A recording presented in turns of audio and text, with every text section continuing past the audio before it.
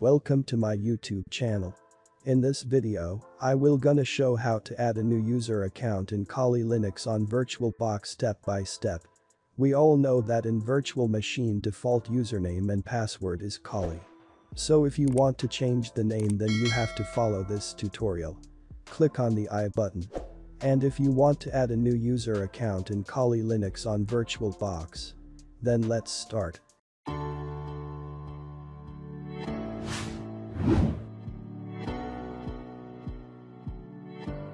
So this is the Kali Linux 2021.2 running in the VirtualBox on Windows 10.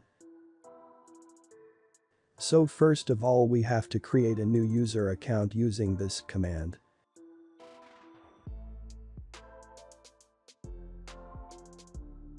Now here you can see user and group is adding with the same name.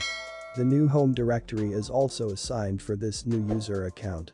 Now set the password for this new user account.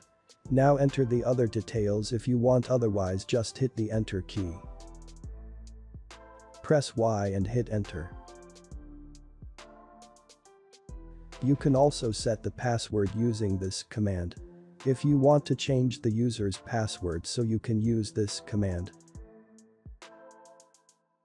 Now next step, add this new user in sudo group. This allows users to install software or other permissions. So using this command you can add this user account in sudo group. And sudo is a default group in Kali Linux. So we added this new user account in sudo group in Kali Linux.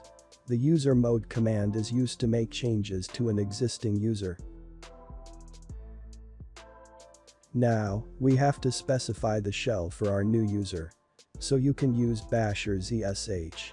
Using this command you can specify the shell for your new user. Now you can check the newly created user's details here.